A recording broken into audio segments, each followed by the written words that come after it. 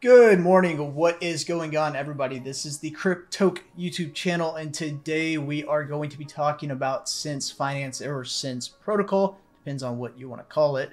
But I have covered a similar project in the past to this. This is in the same realm as it.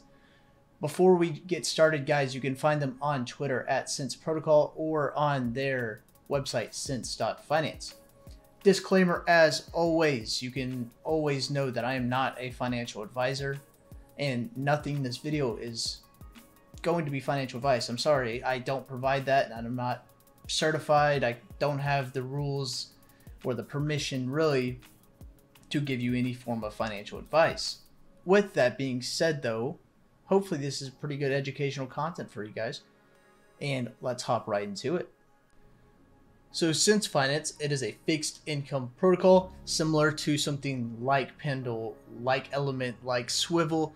It is based on Ethereum and is utilizing yield-bearing assets. So I've actually covered uh, things like Pendle, things like Swivel already. I, ha I haven't covered Element just yet, but they're all pretty similar. It's going to allow users, customers, whatever you want to call them, to manage the risk via fixed rates and their future yields. It's going to be scalable through a permissive design, and it'll allow anyone to create a new future yield market.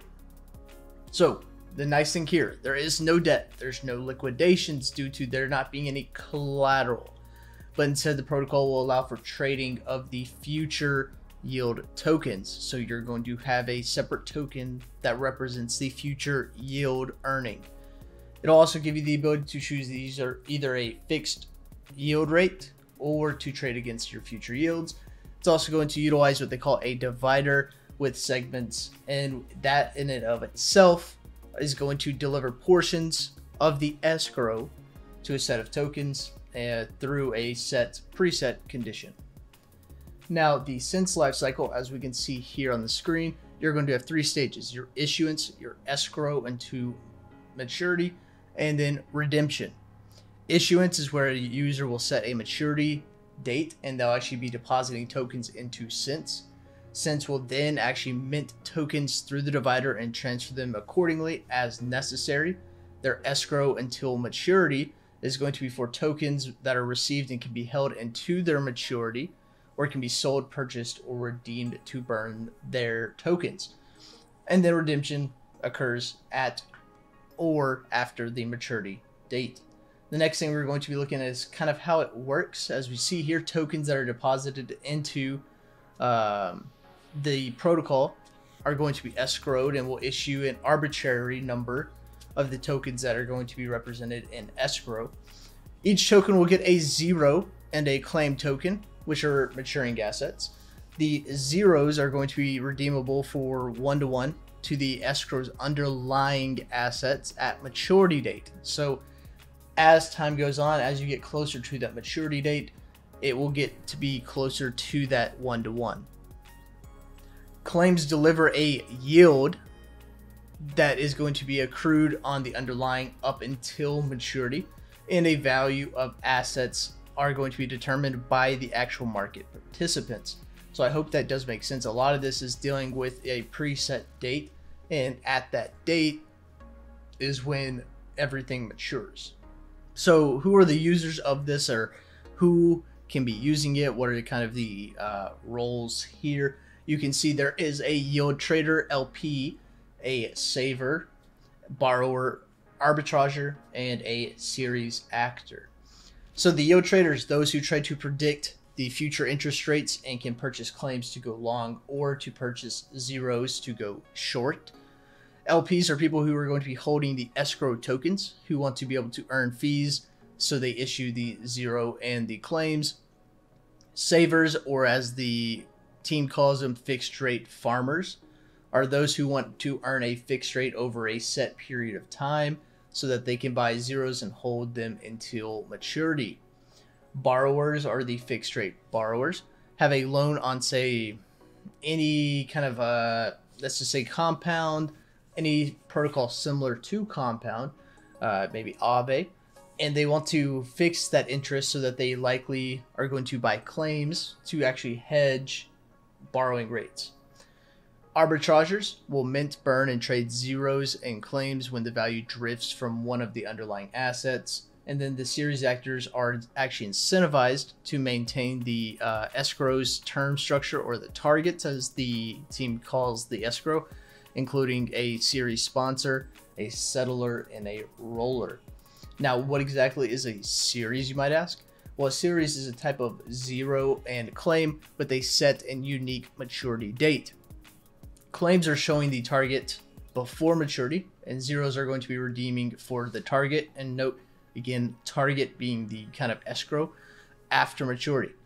The protocol is going to utilize a scale value at the issuance and maturity, which is used with the contracts to settle this series. Now, jumping kind of into their sponsors, their settlers, uh, actors that actually initialize these new series, they will be put up. Uh, pretty much, they're going to deposit or put up a stable coin, essentially, uh, stake that is going to be a part of the settlement reward and have exclusive access early to settle these series for a given period of time. Now, after that given period of time, it'll be brought up to the public where anybody can work with it. Settlers are also going to be those who can settle a series and harvest that reward and are incentivized by the settlement reward. So there is a little bit of play there to be able to earn a reward, but not guaranteed to happen. Now, the rates for this protocol, you can see rates are up to 31% on stable coins, which is, I would say, argue pretty good.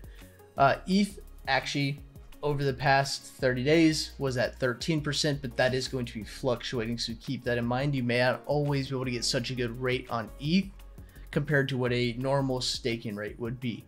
Now, for the team, we are going to be looking at CEO Kenton Prescott, CTO Joshua Levine. The person working with smart contracts is going to be Federico Martin A.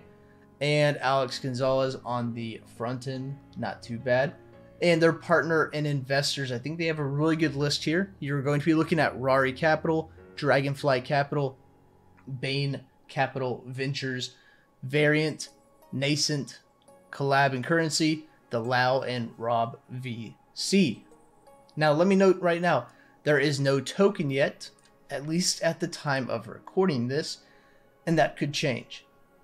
So personally, I'm using the protocol. Uh, you know, when it's out, I'm gonna mess with it, see, see what I can figure out there. So, I, you know, I'll use it just to mess with it, maybe get some good stablecoin interest rates. But I want to note right now, let's hop into my opinion on this protocol because as we see in the market, Bitcoin is down. We had a rough week going on. So I hope you guys are okay.